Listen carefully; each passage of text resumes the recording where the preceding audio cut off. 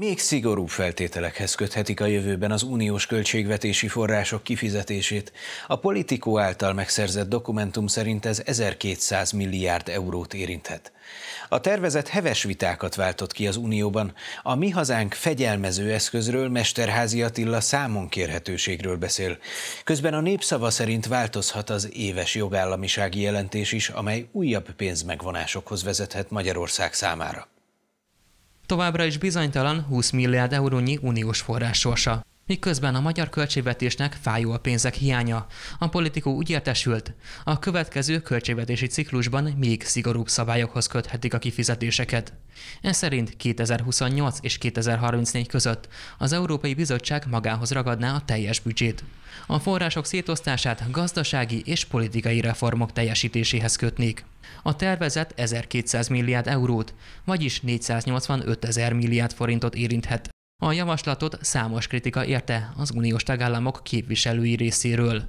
A mi hazánk úgy véli, ha a sajtóhírek valósak, akkor az sötét képet fest a jövőről. Ez egy olyan hatalomgyakorlás, amely tulajdonképpen politikai fegyverként, fegyelmező eszközként is adott esetben használható.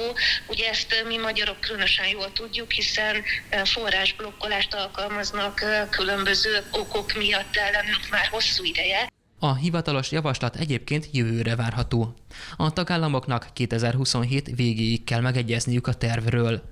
Mesterházi Attila azt mondta híradónknak, lehet, hogy ez csak egy tesztnek szánt anyag, mégsem véletlen merülhetett fel az ötlet de egy biztos, hogy elindult a költségvetés, tervezés eh, és a különböző kifizetések a felé az irányba. Legalábbis a gondolkodás biztos, hogy valamilyen fajta jogállami, normák, jogállami normák számon kérhetőségét a közös piacon is eh, be kell vezetni.